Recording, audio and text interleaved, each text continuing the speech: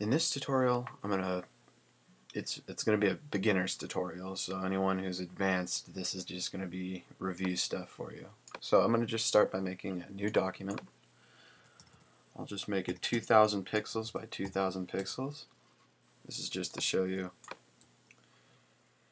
different things, different tools that I'm going to be using throughout this tutorial.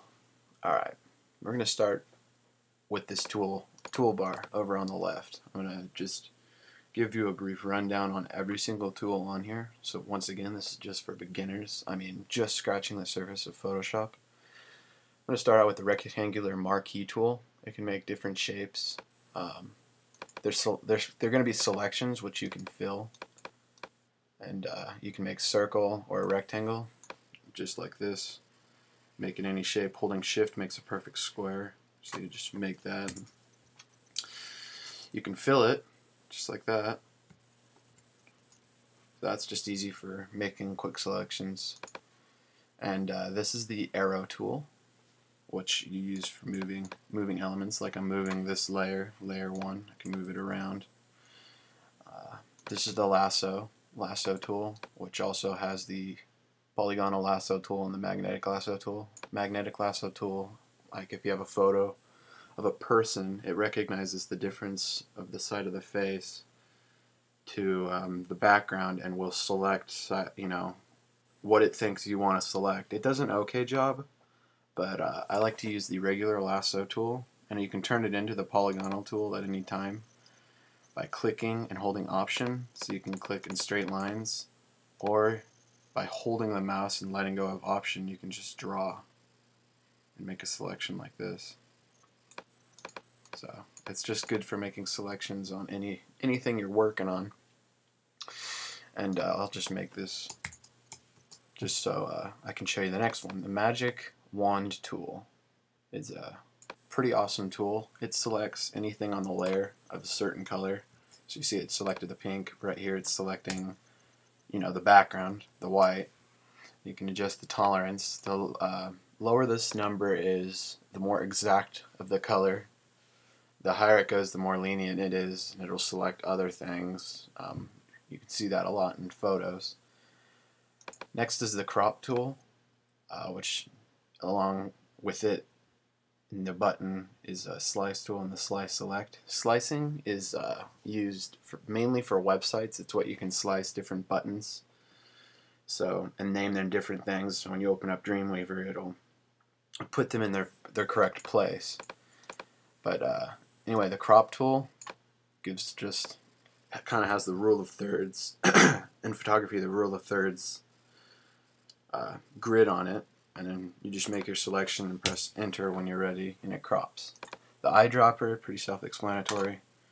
It selects what color um, you want, brings it over here.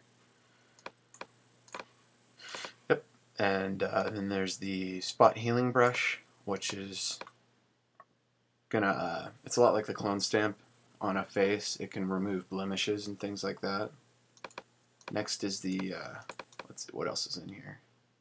Red eye tool gets rid of that. Uh, red eye healing brush is a lot like spot healing. I'm not sure what the patch tool does, but uh, I'll get back to you on that. Here's the brush tool, pencil tool, uh, draws in pixels. If I make the brush bigger here, it draws per pixel, so it's a lot rougher than the brush is. Um, the brush usually has a feather tip. Um, but you can select a hard hard brush too. There's just many different uh, things you can do with the brush, including paint, paint things.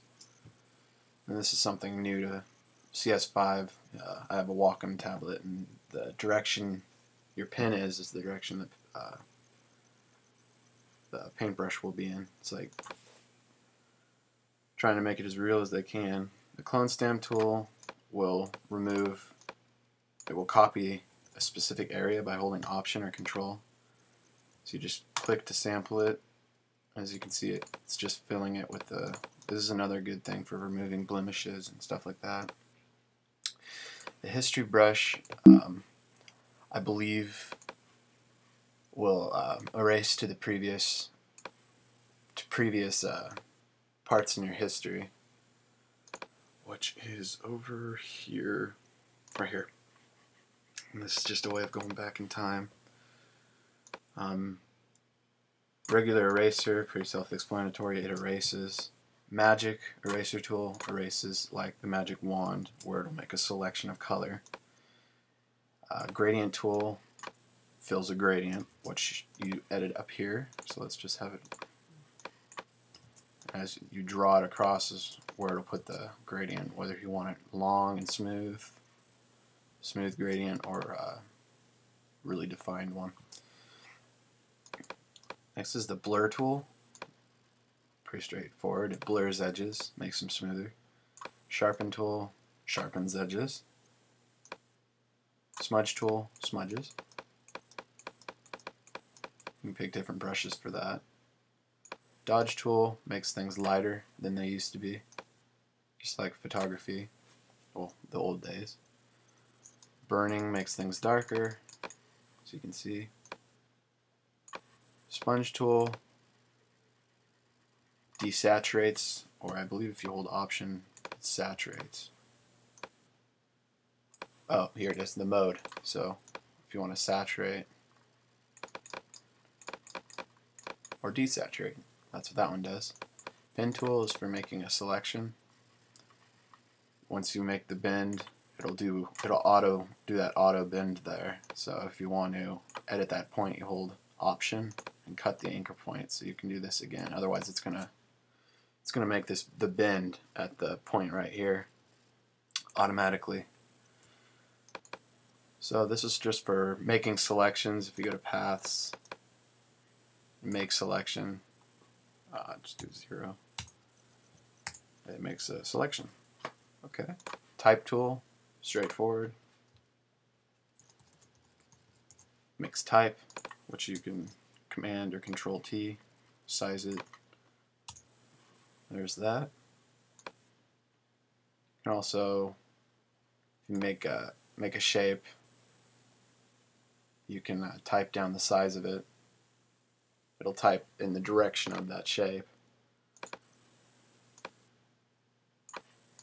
This is just a selection tool.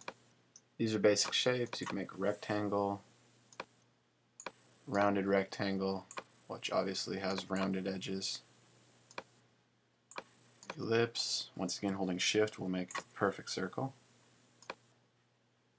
Polygon, basically a stop sign. Line tool makes straight lines. Custom shape is whatever whatever shape you want it to use and you can select them up here.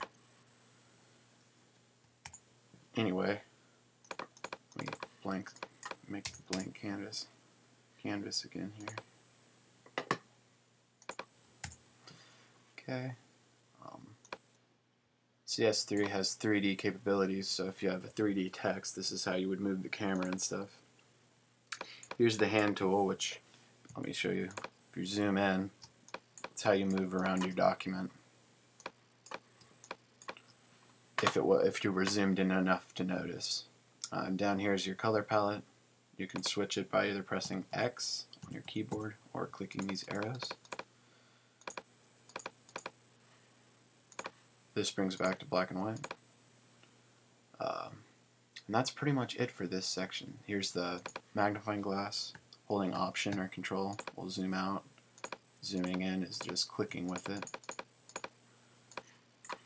Okay, and that's a pretty straightforward tutorial on just this toolbar. I will make another one for this area over here, or several, along with the adjustments. So uh, thanks for watching, and subscribe, please.